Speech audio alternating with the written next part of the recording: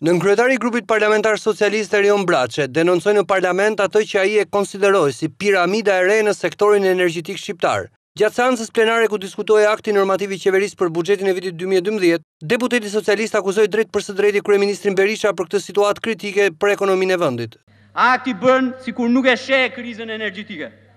Edhe pse ajo është ngritur si piramidë mu në mes shtetit shqiptar me kontributin e drejtpërdrejtë Sali Berishës, si kryeministër që mori përsipër privatizimin e rrjetit kombëtar shpërndarjes së energjisë elektrike.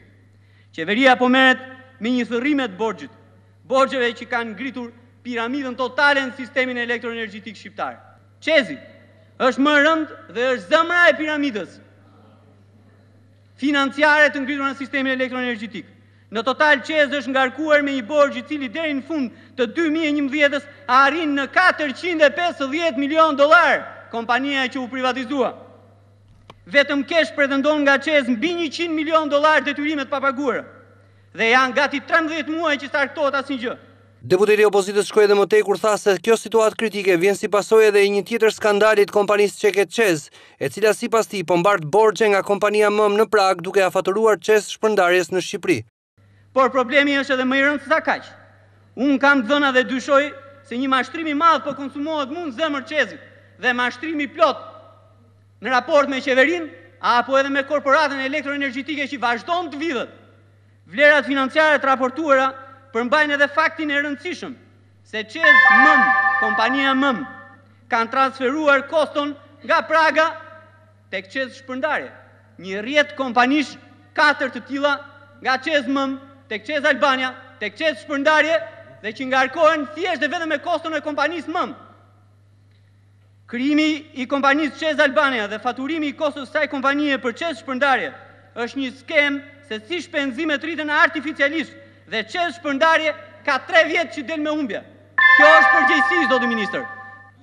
Për ministrin e Financave Ridvan Bode, problematika e sektorit energjetik në vend Është vetëm tek moszbatimi i kontratës së privatizimit nga kompania çeke ÇEZ Shpërndarje. Thelbi i kësaj gjendje të rënduar ekonomike, problemeve të krijuar në sistemin energjetik shqiptar buron nga kompania e shpërndarjes ÇEZ, e cila nuk ka plotësuar detyrimet kontraktore për uljen e humbjeve dhe borxheve të këqija gjatë ekzekutimit të veprimtarisë së saj. Si rezultat i mungesës së performancës në menaxhimin e kompanisë, niveli i humbjeve është rritur, niveli i borxhit keq është rritur.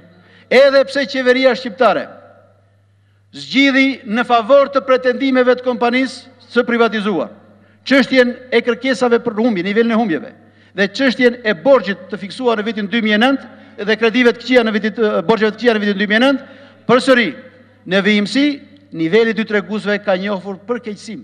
Akti normativ për buxhetin e vitit dy mijë e dymbëdhjetë detyron pushtetin vendor të shlyejë të gjitha detyrimet financiare që ujësjellësit kanë ndaj kompanisë ÇEZ Shpërndarje. Por ky qëllim i aktit normativ ishte një tjetër element për opozitën për të shpërthyer në akuza ndaj qeverisë. I cili, natyrisht që është cenim i rëndë i autonomisë vendore. Së pari duke vënë dorë pikërisht mbi atë. që ia keni dhënë dhe që normalisht duhet ta menaxhojë pushteti vendor mbi grantet. E gjitha është pasojë natyrisht edhe një elementi tjetër shumë të rëndësishëm, kalimit të funksioneve nga qeverisja qendrore tek qeverisja vendore, por pa para. Dhe rasti i ujësjellësve është tipiku. Jo vetëm që s'i kaluat para, po mbi të gjitha i trashëguat edhe borxhet e vjetra të cilat kërkoni t'i mblidhni sot. Borxhe të krijuara nga qeveria. Të gjitha detyrimet janë të detyrimet pas datës së kalimit në pronësi të bashkive. Çdo njësi vendore që pretendon se detyrimi është i mëparshëm duhet ta dokumentojnë dhe ta sjellin tek Ministria e Financave. Të gjithë e dini që në vitin 2008 kemi ndërhyrë në ligjin e buxhetit të shtetit dhe kemi paguar një fond nga administrata qendrore, nga buxheti i shtetit, të gjithë detyrimet e prapambetura që kanë pasur ndërmarrjet e ujësjellësave, që nga themelimi i tyre deri në 31 12 2008.